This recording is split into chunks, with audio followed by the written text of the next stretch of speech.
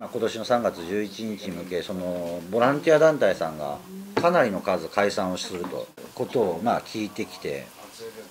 もうこれから一生懸命復興ししていかなきゃいけない中で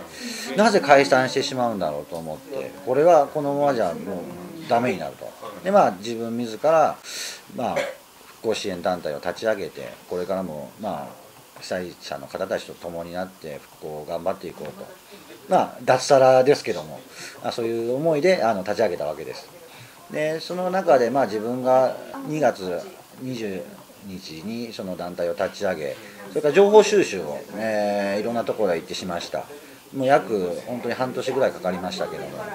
でその中でまあどうしてもやらなきゃいけないことっていう中で仮設住宅の方たちとのコミュニケーションをとって問題を解決していく。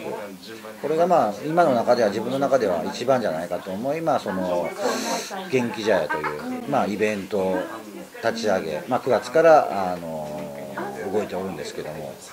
その中でどうしてもやっぱり世の中インターネットでこう発信していく中まあ今回こう山田君っていう子が、なあ、のソーシャルネットワークサービスの中で、まあ、手を挙げてくれ、えー、ボランティアに参加してくれるようになったという。ボランティアには行けないけどもあのお菓子の支援をさせて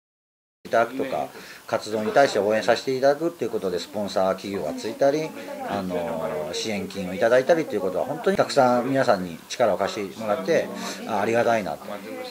まあそれがもう今の現状ですかね。はい。今年に入ってまあこっちに8年間誰も住んでない空き家があってあの家使ってボランティアしている人たちに使ってもらえるようにするだけでも、うん、空き家にしとくよりはいいかなと思って。せっかくここにいるのだからなんかやってみたいなと思いまして。今まではボランティアという言葉もあんまり好きではなくて、うん、全然踏み出せずになんだろうちょっと恥ずかしいとかあったんですけど。そのソーシャルネットワークで、まあ、時間も今はかなり融通が利くので、まあ、フラッと行ったらすごく本気でやってる人